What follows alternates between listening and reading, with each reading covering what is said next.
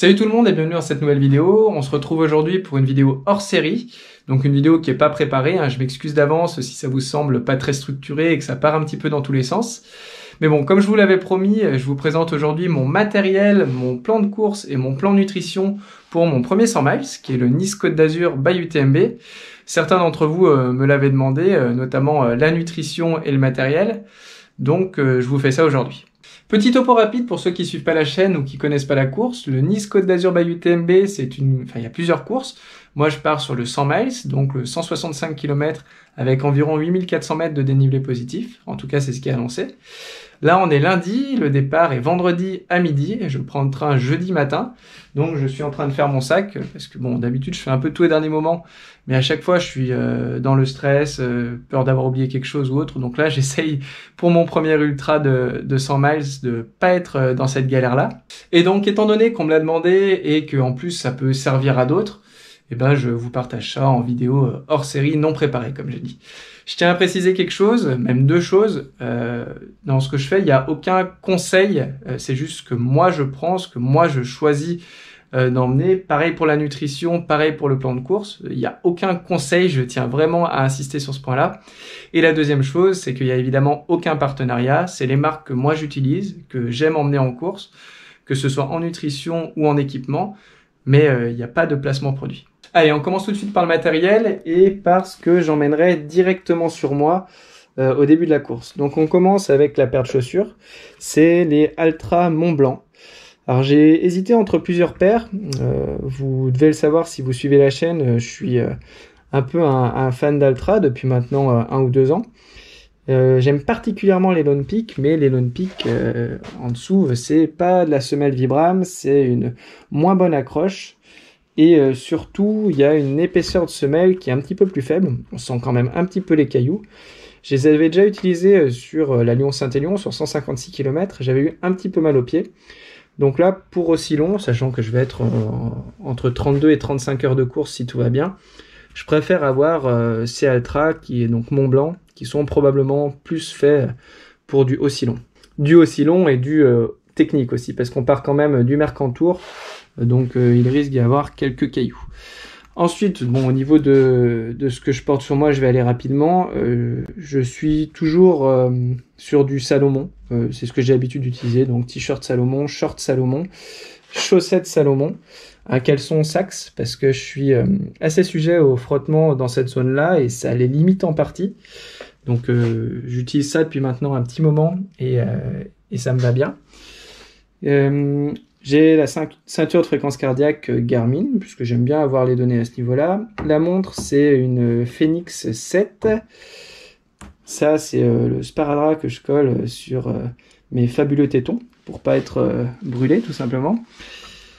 Une ceinture porte-dossard, d'habitude j'en utilise pas, je préfère utiliser des épingles à nourrice et mettre sur le, sur le t-shirt, mais là étant donné que c'est un ultra, que je vais peut-être me changer dans les bases vies, ce serait beaucoup trop pénible d'enlever à chaque fois le dossard pour le remettre sur le nouveau t-shirt. Et pour ça, la ceinture porte-dossard, c'est particulièrement pratique. Euh, ma fidèle casquette que j'emmène sur toutes mes courses. La veste, c'est aussi une veste de pluie, coupe-vent, etc. C'est aussi une Salomon. On part ensuite sur le sac. Le sac de trail, donc un 12 litres Advanced Skin de Salomon. Euh, donc euh, toujours euh, le même. Alors je l'ai changé récemment parce que l'ancien commençait à être un peu un peu abîmé, mais c'est juste la nouvelle version de l'Advance Skin. Le carquois, Salomon aussi, les bâtons. donc j'en ai deux paires, hein, si vous avez suivi un petit peu ce qui m'est arrivé juste avant la 6000D. J'ai une paire de Leki, une paire de TSL. J'ai choisi d'emmener les Leki parce qu'ils sont quand même alors pas beaucoup plus léger, mais plus léger. Et je me dis que sur 165 km, je serais peut-être content d'avoir un petit peu de poids en moins. Euh, les gourdes, au niveau des gourdes, donc je vais partir avec deux gourdes remplies et une gourde de secours dans le dos. Euh, ça fait partie du matériel obligatoire d'avoir un litre d'eau. Euh, j'aurai la possibilité d'avoir un litre et demi si besoin, si je sens que que j'ai pas assez entre les ravitaux, et ben le ravito d'après, je remplis la troisième. Comme ça, euh, ça se réitérera pas euh, sur la suite. Ensuite, ça, vous devez vous demander un petit peu ce que c'est. Alors ça, non, vous connaissez euh, profil de course, il y en a beaucoup qui l'emmènent sur les courses, mais moi, je me fais aussi un petit tableau avec les temps que j'ai prévu de faire, etc. Mais je vous montrerai ça après sur l'ordinateur quand je parlerai du plan de course. Ça, c'est bon, bah, c'est pour moi, c'est les batteries GoPro. En général, les autres coureurs n'en ont pas. Les lunettes, les écouteurs. Bon, je les ai jamais utilisés en course, mais je suis toujours, je les prends quand même assez souvent au cas où, en disant que si je suis vraiment dans le dur, un peu de musique, ça peut peut-être faire du bien. La noc pour aussi éviter les frottements. Le bol, donc ce bol alimentaire, j'en utilise pas d'habitude non plus, mais peut-être que cette fois-ci j'aurai envie de, prendre de la soupe ou du riz au, au, au base vie. Donc j'en ai euh, acheté un. Une gourde, euh, une gourde, pardon, un, gobelet euh, pour les ravitaillements. Le téléphone, donc qui sera chargé, numéro de l'organisation. on doit avoir aussi Live Trail dessus, c'est dans le, matériel obligatoire de, l'UTMB. Là, la trousse de secours, je vous montre le contenu juste après. Euh, la lampe, pareil. Et le matériel un petit peu euh, obligatoire en plus des différentes couches que je vous détaille aussi juste après. Au niveau de la nutrition, donc là, ça c'est ce que je prends pour euh, du départ jusqu'à la première base vie. Donc je vous ferai le détail après exactement de comment je vais m'alimenter. Mais on voit qu'il y a du euh, Morten, donc ça c'est Drink Mix 320, c'est ce qui se met dans l'eau pour avoir un apport en glucides. Là-dedans il y a 79 grammes de glucides. Et la même chose en 160, donc 39 euh, grammes de glucides. Je vais aussi pas mal utiliser les euh, Gelta, donc qui contiennent 33 grammes de glucides avec en plus électrolytes, enfin bref, tout ce qu'il y a besoin pour pas se déshydrater. Donc euh, j'ai pris différentes saveurs et j'en ai pris un avec de la caféine en cas de... Enfin même pas en cas de fatigue, celui-ci j'ai prévu de le prendre. Les gommes, donc euh, même principe, euh, des glucides. Je crois que les trois gommes, parce qu'il y a trois y a trois gommes dans un, dans un sachet comme ceci. Les trois gommes, ça fait à peu près 24 grammes de glucides. Et ça existe aussi avec ou sans caféine. J'en ai pris un avec caféine aussi. les pastilles d'hydratation, ça j'en mets une dans, dans ma gourde à chaque ravitaillement. Ça, j'ai pas précisé, mais évidemment, il faudra aussi que je remette dans la gourde à chaque ravitaillement. Ça, ce que vous voyez ici, ici et ici, euh, c'est ce que j'utilisais avant sur mes anciennes courses. J'en emmène en cas de secours, au cas où genre, ça, le reste, je supporterais pas trop. Mais bon, j'ai testé l'alimentation avant quand même. Hein, mais disons que ça, c'est au cas où. J'aime bien être prévoyant. Et les deux que vous voyez ici, euh, c'est des gels sans caf de, de Morten donc euh, qui contiennent 100 mg de caféine. C'est si vraiment j'ai un gros coup de pompe. J'en avais utilisé un sur le Saint-Jacques, j'avais trouvé ça très efficace. Donc euh, c'est là au cas où. Mais ceux-ci et ceux-là, normalement, je vais pas les manger. Ça va vraiment être les mortaines, les tas que vous voyez ici, et les tas en gomme.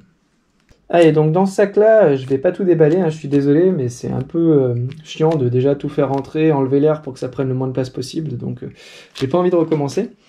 Donc à l'intérieur, il y a un collant, euh, un collant qui doit faire toute la longueur des jambes. On a le choix entre ça et euh, un short type cuissard, plus des chaussettes qui font euh, la longueur de toutes les jambes.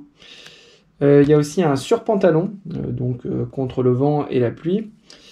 Il y a une paire de gants, un bonnet. Donc tout ça c'est matériel obligatoire. Il y a une seconde couche donc que j'ai mis le plus proche de la sortie parce que c'est celle dont je risque vraiment de me servir. Le reste, il y a un petit peu moins de chance. Et j'ai rajouté un tour de cou euh, si vraiment j'ai froid.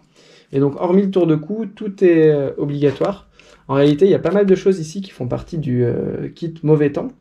Mais pour Nice, ils ont inclus plusieurs éléments du kit mauvais temps dans le kit de base obligatoire. Si on passe à la trousse de secours maintenant. Donc la trousse de secours, c'est quelque chose que j'ai acheté en pharmacie. Hein. j'ai enlevé certains trucs, j'en ai gardé d'autres. Donc à l'intérieur, on a la couverture de survie essentielle j'ai mis un petit peu d'argent de l'autre côté euh, pour pallier à toute éventualité. Il, il conseille d'en prendre. Des mouchoirs pour parer à toute éventualité aussi, euh, vous m'aurez compris. La fameuse bande euh, adhésive de 1 mètre par 6 cm, dont on se dit que c'est jamais utile. Et puis en fait, moi sur le Saint-Jacques, pour ceux qui ont vu la vidéo, eh ben, j'en ai eu besoin. les, moi, alors, je porte des lentilles, donc c'est des lentilles de secours. Ça, c'est du sparadrap pour euh, faire tenir si j'ai besoin de mettre des bandes ou autre. Des bandes comme celle-ci. en fait, ça, c'est des gaz. Euh, des, euh, donc, un micropore, un autre sparadrap. des petits ciseaux, des pansements, des lingettes imbibées d'alcool pour désinfecter, des épingles à nourrice si jamais je n'ai à avoir un problème avec la ceinture parce que j'ai pas trop l'habitude de, de, la porter donc j'en ai pris au cas où et ça si vous vous demandez ce que c'est c'est de l'éromire donc du salbutamol en fait de la ventoline tout simplement euh, je m'en sers jamais, mais euh, j'ai de temps en temps du mal à respirer, c'est pour ça que j'ai une prescription de ça si j'en ai besoin. Je m'en servirai évidemment pas en course, hein, c'est plutôt euh, si j'ai une crise et que je dois m'arrêter mais que j'arrive pas à respirer, j'utiliserai ça. Mais bon, à partir du moment où j'utilise ça, de toute façon, je suis hors course, puisque c'est considéré comme un produit dopant. Mais bon, l'idée c'est vraiment de ne pas m'en servir. Dans ma trousse euh, de lampe, j'ai donc ma frontale, une stout. Euh, encore une fois, c'est euh, c'est vraiment un produit que je trouve incroyable. Et là, je fais vraiment pas d'exagération. une seule batterie, comme celle-ci, qu'on place là, m'a toujours tenu les nuits complètes en étant, alors pas au max, mais presque de la lampe. Et à chaque fois, il me restait au moins la moitié de la batterie. Euh, donc euh, je sais qu'avec ça j'aurai pas de problème. J'ai la batterie de rechange qui est obligatoire et j'ai la lampe de rechange qui est obligatoire elle aussi. Et avec tout ça, j'ai pris euh, une batterie externe si besoin pour recharger, je sais pas, la montre notamment. Je sais pas si la montre tient 35 heures de course ou pas. Pour recharger le téléphone si besoin, puisqu'on doit avoir le téléphone qui est tout le temps allumé pour qu'on soit joignable. Et voilà. Et sur les gourdes Salomon, juste je précise, euh, j'aime bien prendre ces gourdes-là parce que par rapport aux décathlons que j'utilisais avant, elles ont une ouverture plus large et on peut remplir les gourdes plus rapidement, plus facilement, sans s'en mettre partout. Euh, voilà, alors j'imagine qu'il y a probablement euh, la plupart des autres marques qui font ça, mais moi c'est les Salomon que j'ai essayé en premier et je reste là-dessus depuis. Allez, on poursuit avec le contenu maintenant du sac que je laisserai à la base vie. Donc ce sac c'est celui-ci. Alors on dirait qu'il est petit, mais en réalité non, il est grand. Euh, à l'intérieur, je vais mettre principalement ma nourriture euh, pour bah, entre la première base vie, deuxième base vie, entre la deuxième base vie, troisième base vie. Donc c'est à peu près ce que je vous ai montré tout à l'heure, à quelques exceptions près. Donc il y a les deux sacs qu'on voit ici et ici. Il y a aussi des sacs de vêtements si j'ai besoin de me changer. Je sais pas si je vais en prendre un ou deux. Je pense que je vais prendre les deux si j'ai la place, sinon j'en mettrai qu'un seul. pareil, je, je, pense pas me changer, hein, mais c'est vraiment du au cas où. Donc ça pour la base vie numéro 2.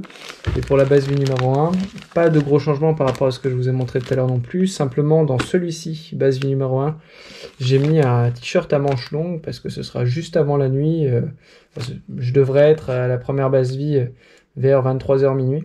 Donc, euh, donc voilà.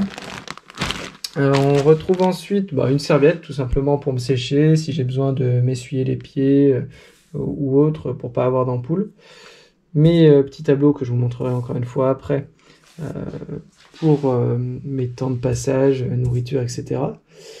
De la crème solaire pour la deuxième base vie, surtout parce que je vais finir, enfin il devrait y avoir du soleil et quand je finirai, ce sera dans l'après-midi soirée de samedi normalement j'espère, ou au pire dans la nuit de samedi à dimanche deux gourdes de secours, euh, parce qu'il m'est arrivé récemment en courant de casser une gourde, euh, de casser le, je sais pas comment appeler ça, le petit teuteux ici là.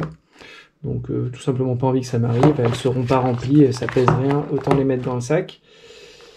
Ça, j'espère ne pas avoir à m'en servir non plus. Donc, ibuprofen, c'est un anti-inflammatoire, c'est de l'ibuprofène. Alors, petit disclaimer, il vaut mieux pas utiliser d'anti-inflammatoire ou tout simplement de médicaments pendant une course.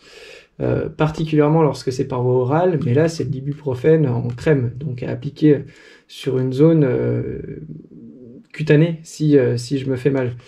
je pense notamment à la Lyon-Saint-Élion, pour ceux qui n'ont pas vu, vous pouvez aller voir dans la vidéo, les 40 derniers kilomètres de course où j'avais une douleur que j'arrivais pas à expliquer au pied, où c'était vraiment intenable. Bah là, si ça m'aurait fait ça, voilà, je mettrais un petit coup de ça pour voir. Mais j'utiliserai pas de médicaments par voie orale parce que c'est pas bon pour le foie et les reins. Ça, c'est vraiment pour le côté plaisir. Alors, c'est pas bon pour le foie et les reins non plus, mais euh, à petite dose, ça va. Euh, je me suis dit un par euh, base vie. Habituellement, je fais pas ça, mais là, je me suis dit que je, je prendrais ça au cas où, au cas où j'en ai besoin, si j'ai besoin de sucre, si ça va pas. Ça exactement le même principe, tout en sachant que si j'en mange, ce sera un ou deux, hein, parce que j'ai pas envie de me détruire le bide. Un sac d'électronique, je vais dire, avec pareil un disque dur externe si j'ai pas envie d'enlever tout ce qu'il y a dans mon sac. de quoi charger mes batteries de GoPro, mon téléphone, ma montre, ma lampe s'il y a besoin. Je vais probablement pas me servir de tout ça. Les chaussures de rechange, euh, donc ça pareil, j'espère ne pas m'en servir, mais si, j'ai mal aux pieds, euh, notamment à la deuxième base vie, j'échangerai mes Altra Mont Blanc avec ces Altra là, qui sont des Altra Olympus, euh, donc pareil avec une accroche Vibram, toujours drop 0, mais qui sont quand même plus faites pour l'ultra, pour, pour avoir un, bon amorti, avoir moins mal aux pieds. Et on le voit, hein, c'est quand même des, des, grosses pompes, elles sont plus lourdes. Et puis, euh, et puis voilà, si j'en ai besoin, je mettrai celle-ci. Ça, c'est le contenu euh, du, euh, du sac pour les bases vie. Et enfin, ça, je vous ai mis à côté ce que j'emmène en plus à Nice, qui fait partie en fait des, des kits optionnels. Alors, comme je vous ai dit, le kit mauvais temps, il y a une grande partie qui a été mis dans le kit obligatoire pour Nice. Je sais pas pourquoi, parce qu'en plus, il va apparemment faire beau, peut-être à cause des conditions de l'an dernier. Dans tous les cas, en plus, qui n'a pas été mis dans le kit obligatoire, il y a des lunettes de protection. Alors, je vais pas emmener celle-ci, enfin, je pense pas. Ça, c'est mes euh, vieilles lunettes de, TP de, chimie. Mais euh, en fait, mes lunettes de soleil, je peux enlever euh, le. Alors, à une main, c'est pas facile. Bref, je peux enlever la, partie lunettes de soleil et remplacer par autre chose. et là, j'ai commandé au magasin où j'ai l'habitude d'aller des lunettes blanches simplement, enfin transparentes, euh, qui peuvent faire euh, lunettes de protection. Donc j'aurais juste à changer le devant si besoin. Mais encore une fois, je pense pas que le kit sera activé. Une casquette saharienne, ça, ça fait partie du kit canicule. on a plus de chances de tomber sur ce kit-là que sur l'autre, même si je pense qu'aucun des deux ne sera activé. Et une troisième couche chaude, donc pareil, ça fait partie du kit mauvais temps. J'espère que ce ne sera pas activé parce que c'est loin d'être optimal ce que j'ai. Euh, mais il y a peu de chance. Bon, voilà ce que ça donne, les sacs euh, empaquetés, on va dire. bon, c'est vraiment énorme là pour le sac de base vie. Je vais peut-être enlever un peu de vêtements parce que, enfin, je sais même pas si je vais me changer, donc euh, ça fait quand même beaucoup. Je vais voir. En tout cas, dans l'idée, c'était ce que j'avais prévu de faire. Et pour le sac de course, il me paraît énorme aussi, mais c'est en fait tout ce qui est ici, là, c'est les, vêtements de rechange qui sont obligatoires, que je prendrais pas si c'était pas obligatoire. Mais euh, là, ouais, en fait, ils ont euh, activé le kit mauvais temps euh, sans qu'il y ait de mauvais temps. Et ça me remplit le sac. Je vais faire un petit test. J'ai sorti la balance. Donc on va voir à vide. Donc on est à 79. Et on fait avec le sac.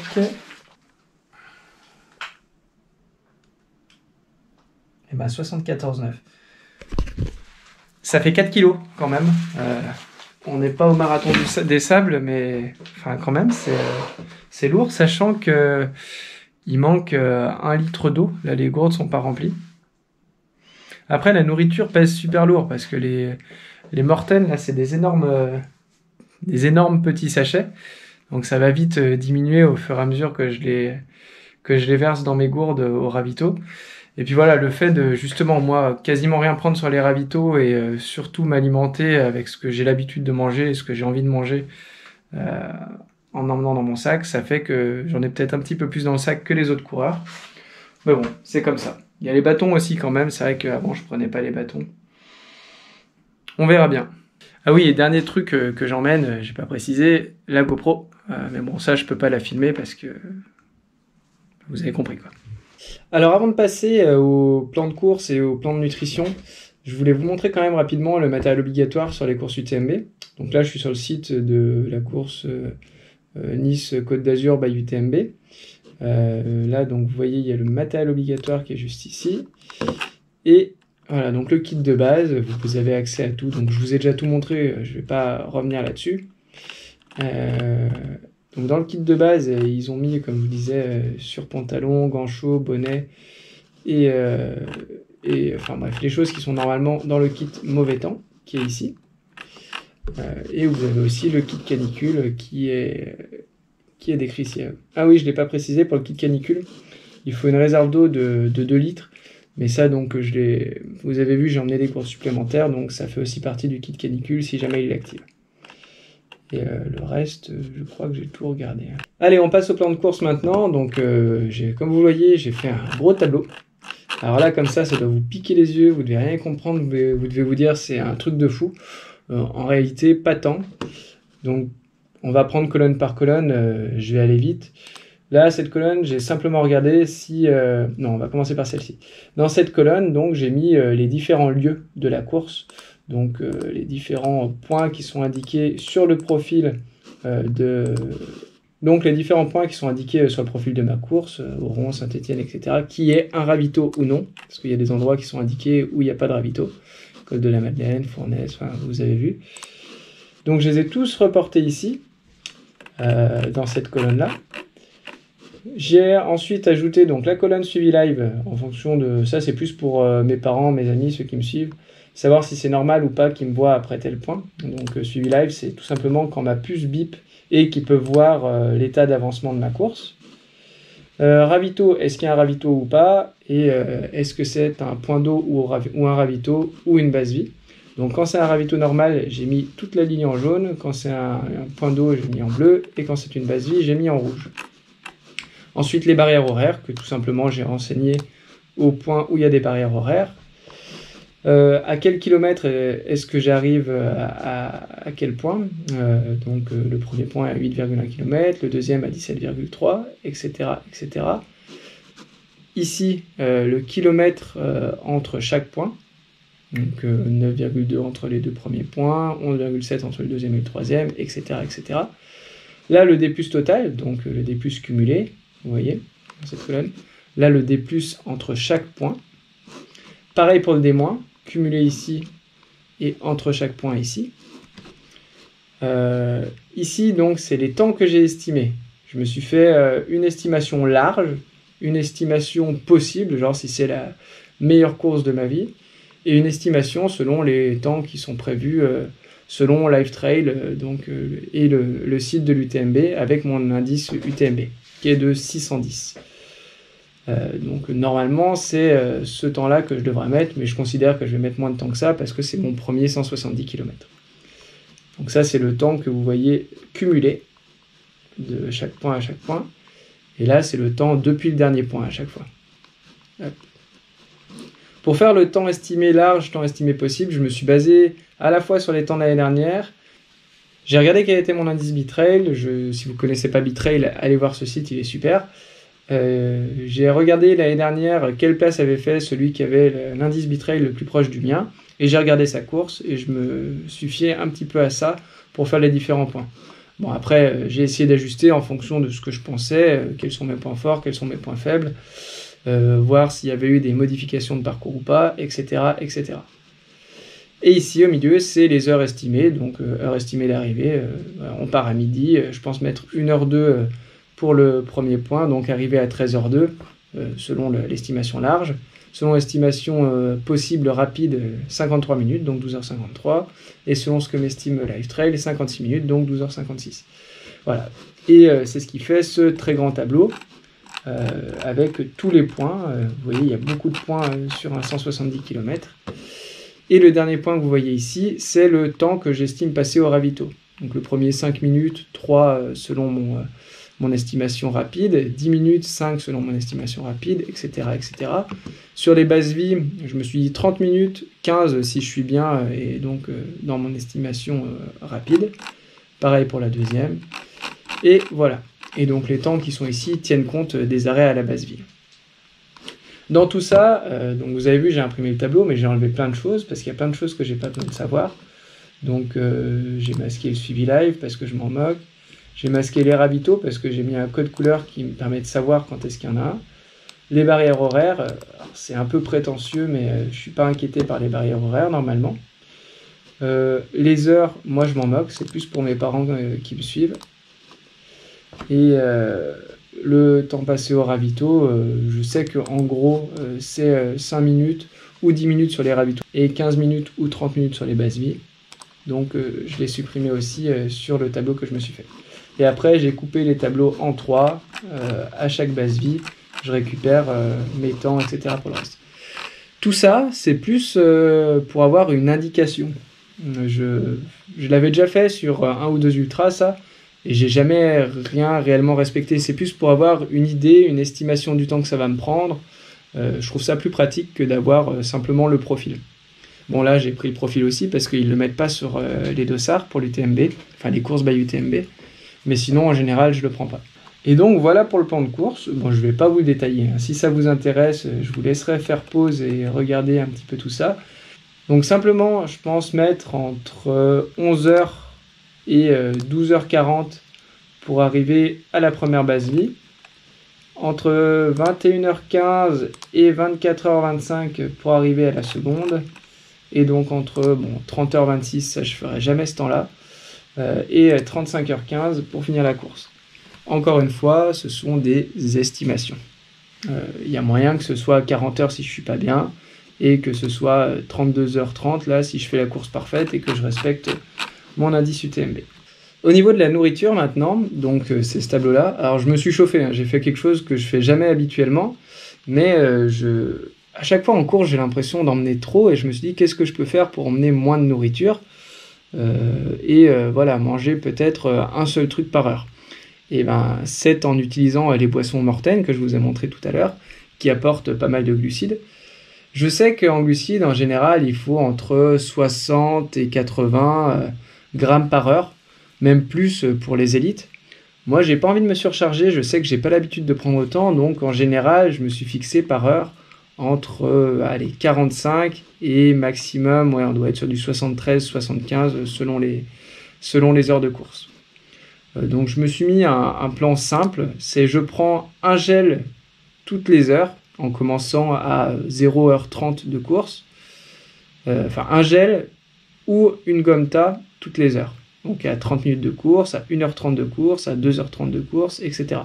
En face, vous avez ce qui représente en termes de glucides. Voilà.